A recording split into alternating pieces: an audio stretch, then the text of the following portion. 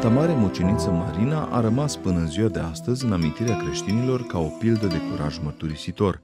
Marina s-a născut în Antiohia Pisidiei, fiind fica unui preot păgân numit Edesim. A rămas din fragedă pruncie, orfană de mamă, astfel încât tatăl său a trebuit să aducă o doică dintr-un sat apropiat care să aibă grijă de fetiță. Ceea ce nu știa tatăl său era faptul că femeia aceea era creștină. A îngrijit-o cu căldură și dragoste pe Marina, vorbindu-i nu de puține ori despre Mântuitorul Hristos.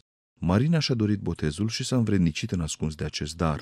Ajuns la vârsta de 15 ani, cunoștea despre persecuțiile creștinilor și despre slăvitele martirii ale celor care îl mărturiseau curajos pe Hristos și ruga pe Domnul ca în cazul în care va ajunge vreodată în situația mărturisirii să o întărească, să primească glorioasa cununa a muceniciei.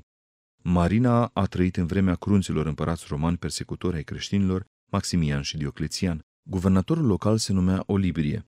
Acesta, într-o zi, a zărit întâmplător pe Marina și a fost cucerit de frumusețea ei.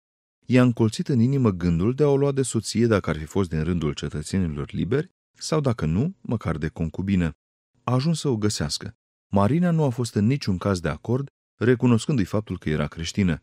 Rănit de refuzul ei și forțat de legea imperială, a torturat-o mânios pe Sfânta Marina încercând să o facă să se lepede de Hristos. Nu a reușit.